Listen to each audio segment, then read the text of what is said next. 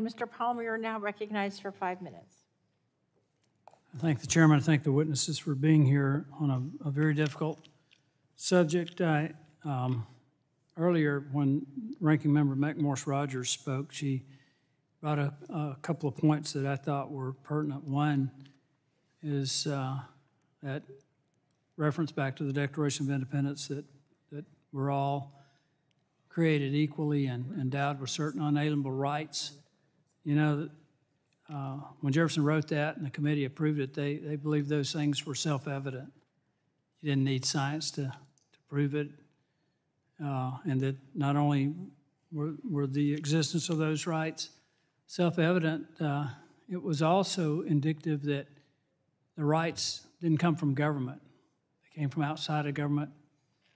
Uh, they even pre-exist government. And uh, the first right that they list is life. Why do you think they listed life first uh, ahead of liberty or pursuit of happiness? I think it's pretty evident, self evident, that life is the prerequisite for all other rights. Without life, there is no right to privacy, there's no right to choice, there's no liberty, there's no pursuit of happiness. And the question is, uh, Dr. Francis, I want to show a, a poster. This is world renowned. It's gone in all types of magazines. Gentlemen will suspend, oh. and the staff will take down that picture. You take it down. In this committee, we admit documents or photographs on unanimous consent bases, and this has not I been... accept the chair's ruling. Excuse me. This has not been shown to the majority, and it has not been agreed to, and there's no foundation of, we will not be- allow it to be displayed, and we will not allow it to be submitted for the record. I'm not That's the ruling of the surprised. chair. Gentleman's recognized. I'm not surprised at all that you wouldn't want to show this photo of uh, an in utero surgery in which the child being operated on grasped the finger of the doctor uh, doing the surgery. That picture was taken in 1999, and, uh, Having not seen the photo, I cannot comment as to what it is. The gentleman decided not to share it with the majority. okay. Uh, But uh, the individual in the photo is now 22 years old. His name is Sam. Um, uh, Dr. Fisher, um, obviously you believe that, uh, that, that a child in utero is a person, right? Uh, Do you believe that, Dr. Resneck? You're a physician. Without seeing the photo, obviously. I think you're referring to fetuses. And so I just want to be really clear about terminology, embryo, fetus.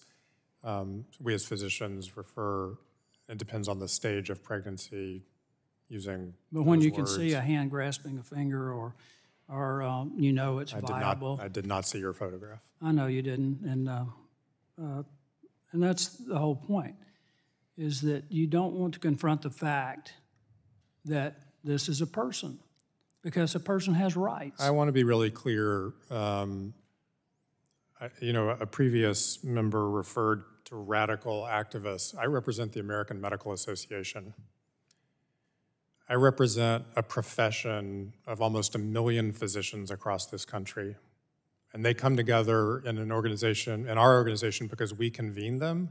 Dr. so the policy you that I represent a million people who are not patient- uniformly in agreement with positions that your organization is taking. That's why you have other organizations being formed, and rightfully so, because you've gone down a path that, that thousands of, of physicians don't agree with you, and I know a lot of them. And the points that, that I'm trying to make is there, there are all kind of consequences for uh, abortion. I mean, I, I, I know some people, some remarkable people who exist today because even though they're, they were conceived out of wedlock, their, uh, their mothers uh, gave birth to them. I can think of one right now who was enormously impactful, and that would have been Winston Churchill. You know, there, there are other consequences for these decisions. And I, I, understand where you're coming from. I mean, you- you're, you're, and uh, where all of you are coming from, and your politics on it. But it's not politics for a lot of people. It's a matter of life and death.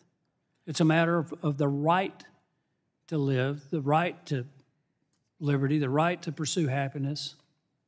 And, and you, you, you want to turn this into something that, I mean, you, you want to accuse us of, of not putting the life of the mother ahead of, uh, in certain situations, you've mentioned the ectopic pregnancies, and I don't know anyone who agrees with the positions that you're, you're articulating. So I just find this uh, very disturbing.